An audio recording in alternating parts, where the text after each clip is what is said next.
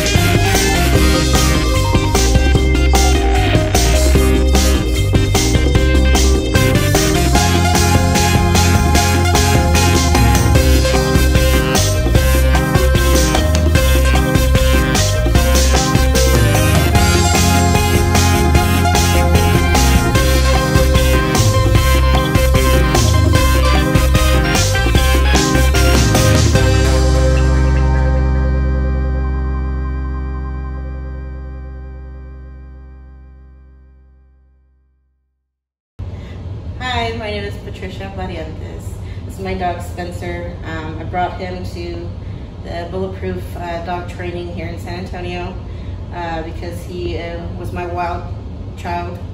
Um, always pulling on the leash, uh, taking me for walks, not the other way around. Um, lots of jumping on me and others uh, aggressively barking at random things like fire hydrants and birds, squirrels. Um, couldn't take him anywhere just because he had that um, aggressive demeanor. But um, after uh, dropping him off here um, uh, for the program, he's calm. He doesn't bark at anybody. Um, he can uh, walk with me off the leash. It's really awesome. Um, and uh, I really recommend this place. It's, I really love it.